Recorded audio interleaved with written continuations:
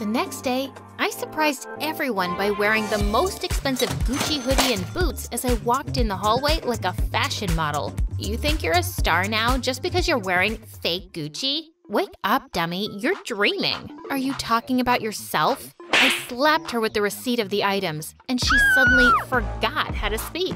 Dude, that was so cool. You literally ate that witch alive. That's how you do it. Teach me your ways, senpai.